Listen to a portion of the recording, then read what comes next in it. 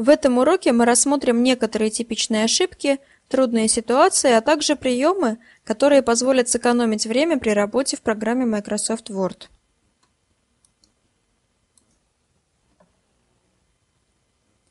Частая ошибка номер один. Выделение текста, начиная с середины абзаца. Откроем файл с текстом, например, первый документ из нашей рабочей папки. Допустим, нам надо выделить второй абзац. Но вместо того, чтобы нажать левую кнопку мыши в начале второго абзаца, держать ее и двигать мышку вниз и вправо до конца абзаца, мы, допустим, поступаем следующим образом. Где-то здесь я нажимаю левую кнопку мышки, держу, тащу мышку вниз. Выделяется вторая половина абзаца. Поэтому я двигаю мышку вверх. Выделяется начало абзаца. И так далее. Весь абзац не выделяется. Мы можем достаточно долго двигать мышку вверх или вниз. Начиная из середины абзаца, мы не сможем выделить весь абзац. Поэтому для того, чтобы выделить фрагмент текста, нам нужно начать выделение с начала фрагмента текста – и двигать мышку вниз и вправо до конца фрагмента текста. Например, от начала до конца абзаца. Частая ошибка номер два. Стремление до выделить текст. Например, я выделяю второй абзац, выделила часть текста и отпускаю левую кнопку мышки. А потом решаю, что мне нужно выделить еще часть текста – и, например, делаю так. Щелкаю левой кнопкой мышки где-то здесь, нажимаю левую кнопку, держу, двигаю мышку вниз. Выделяется вторая часть абзаца, но с первой части выделенная область пропадает. Таким образом, добавить фрагмент к выделенному у нас не получится. Или, например, можно поступить по-другому. Можно выделить часть текста, отпустить левую кнопку мышки и дальше захотеть довыделить второй фрагмент. Мы уже пробовали добавлять фрагмент, начиная отсюда. Результаты не получили, поэтому можно, например, нажать левую кнопку на выделенном фрагменте, держать ее и двигать мышку вниз до конца фрагмента. Здесь отпускаем левую кнопку. Получается совсем другой результат.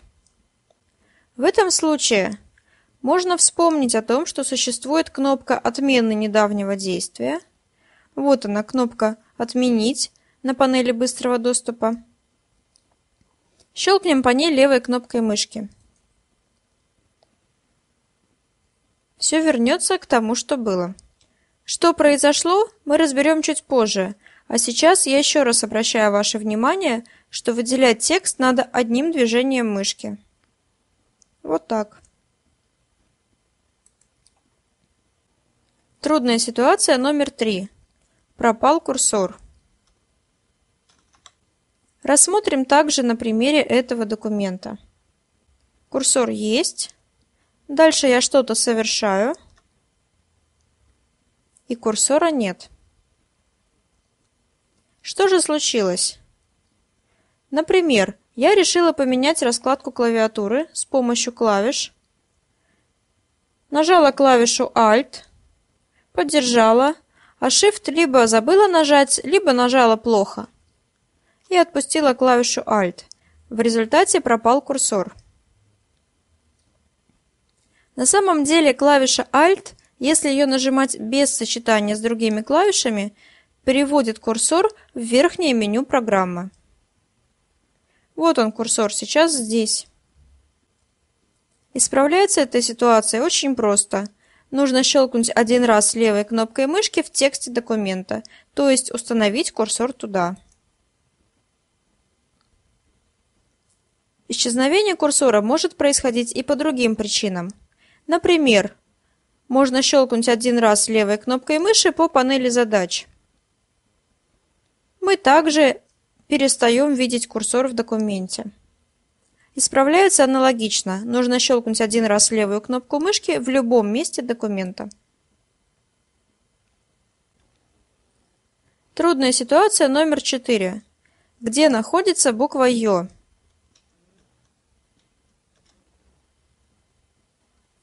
Буква Ё находится здесь. Если эта клавиша подписана у вас на клавиатуре буквой Ё, то ситуация не является трудной. Но зачастую мы видим здесь волнистую линию, видим апостроф, но не видим буквы Ё. Независимо, есть здесь буква Ё или ее нет, данная клавиша отвечает за постановку буквы Ё в русской раскладке клавиатуры.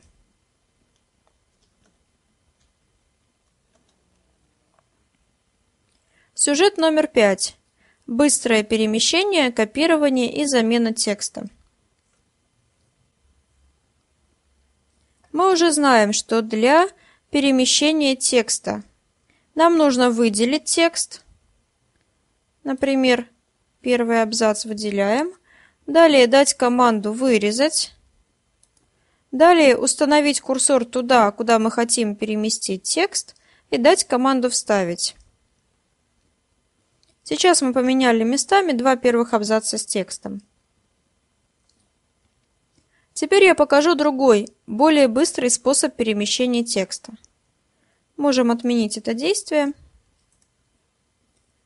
Для более быстрого перемещения текста нам потребуется прежде всего выделить текст.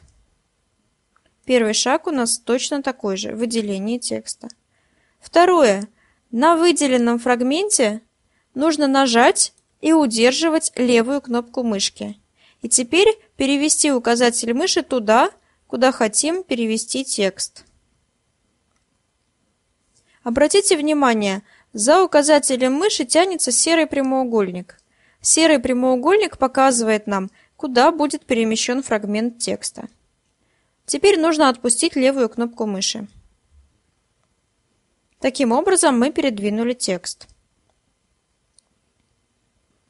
Можно отменить с помощью команды «Отменить» на панели быстрого доступа. Это то же самое, что использовать кнопки в верхнем меню «Вырезать» и «Вставить». Только с помощью мышки мы можем передвинуть текст намного быстрее.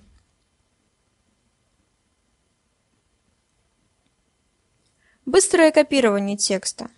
Первый шаг – выделить текст. Далее нужно действовать точно так же, как если бы мы хотели переместить текст. То есть нужно нажать левую кнопку мыши на выделенном фрагменте текста и двигать мышку по документу. И для копирования нужно в этот момент нажать и удерживать на клавиатуре клавишу Ctrl. Обратите внимание, что при нажатой клавише Ctrl Рядом с указателем мыши появляется квадрат с плюсом. Этот квадрат с плюсом как раз и говорит о том, что у нас будет происходить не перемещение, а копирование текста. Важно! Сначала мы должны отпустить левую кнопку мышки и только потом клавишу Ctrl. Можно убедиться, что у нас абзац с текстом остался там, где он был, и другой точно такой же появился на новом месте. Это быстрее, чем использовать кнопки «Копировать» и «Вставить» в верхнем меню. Быстрая замена текста. Нужно выделить тот текст, который не нравится, и сразу начать печатать другой текст.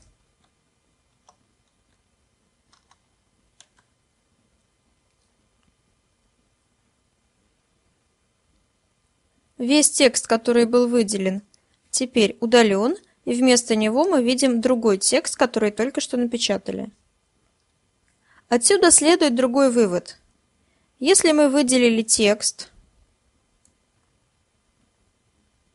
и потом случайно нажали, например, клавишу Enter, то вместо абзаца с текстом у нас теперь пустая строка. То есть мы заменили абзац текста на пустую строку.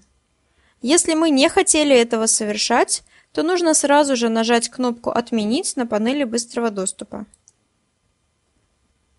абзац с текстом вернется.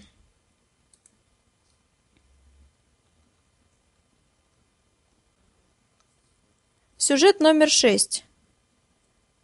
Классическое оформление документа. Здесь снова речь пойдет о предыдущей версии программы Microsoft Word. Дело в том, что на сегодняшний день стандартным шрифтом для оформления документов является Times New Roman. Вот этот шрифт.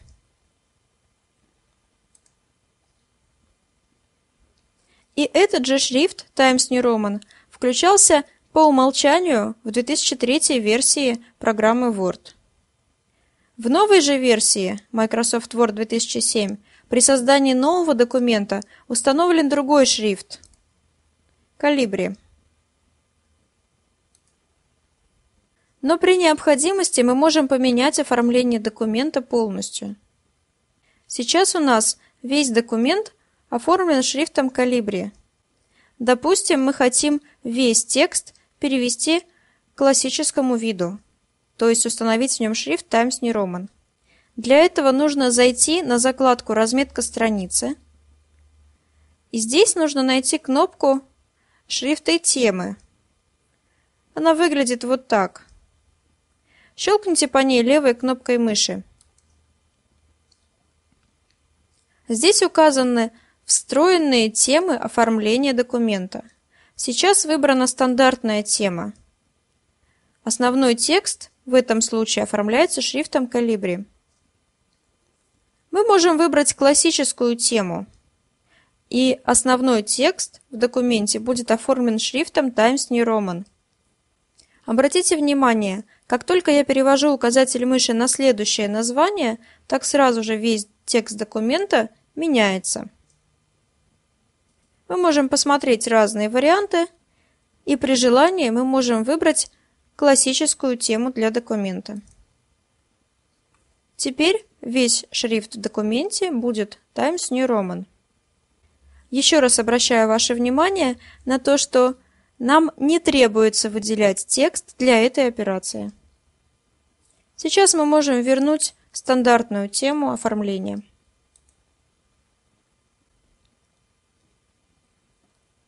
Сюжет номер семь. Горячие клавиши. Горячие клавиши – это сочетание клавиш клавиатуры, которые заменяют собой действия команд верхнего меню. Например, сочетание клавиш Ctrl-Z означает отмену предыдущего действия.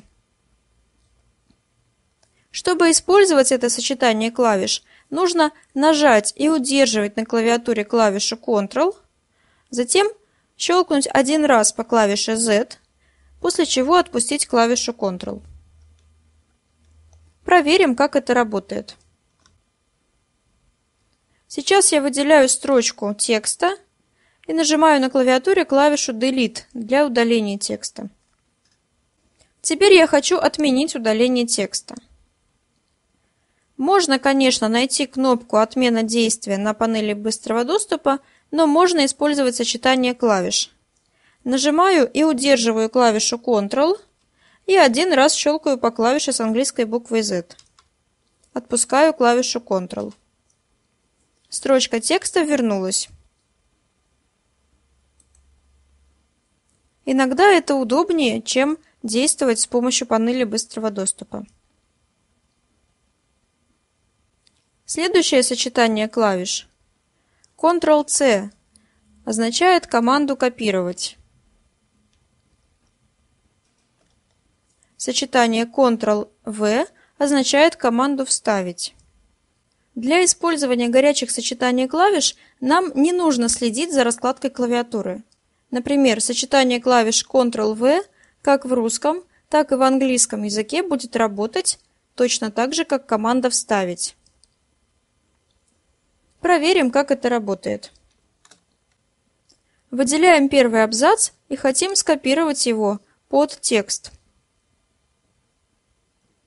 Нажимаю на клавиатуре сочетание клавиш Ctrl-C. Далее устанавливаю курсор под вторым абзацем нажимаю на клавиатуре сочетание клавиш Ctrl-V. Можно увидеть, что у нас появилась копия первого абзаца. Эти клавиши расположены очень удобно на клавиатуре, и мы можем нажимать их левой рукой, не отрывая правую руку от мышки. Итак, в этом уроке мы познакомились с наиболее частыми ошибками и нестандартными ситуациями, а также рассмотрели сочетание горячих клавиш, которые позволяют сэкономить время при работе в программе Microsoft Word.